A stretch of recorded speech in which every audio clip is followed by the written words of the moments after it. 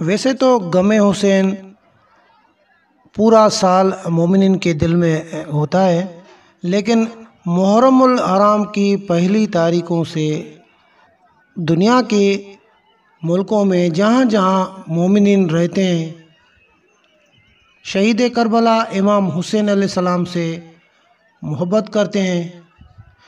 وہ پہلی محرم سے ماتم کرنا شروع کر دیتے ہیں۔ ہمارے ہاں پاکستان میں علم پاک لگاتے ہیں اور نگر نیاز سبیلوں کا اہتمام کیا جاتا ہے۔ پہلی محرم سے لے کر محرم کا پورا مہینہ ننگر نیاز اور سبیلیں چلتی ہیں۔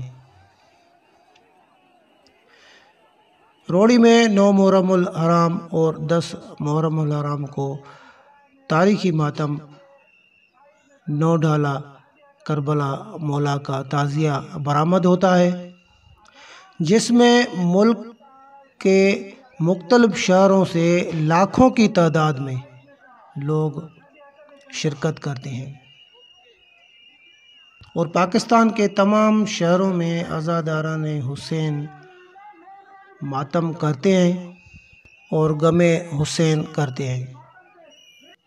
کئی لوگ، کئی مسلمان ان دنوں میں امام حسین کے نام سے ننگر نیاز کرتے ہیں، مسجدوں میں ختم قرآن شریف کا اہتمام کرتے ہیں، دعائیں کرتے ہیں۔ شہید کربلا اور ان کے جانسار ساتھیوں کے لیے دعائیں کی جاتی ہیں۔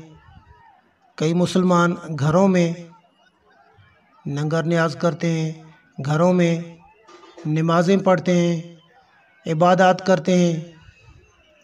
یہاں پر ہمارے پاکستان میں ہر مکتبہ فکر کے لوگ امام حسین کی یاد میں غم کرتے رہتے ہیں۔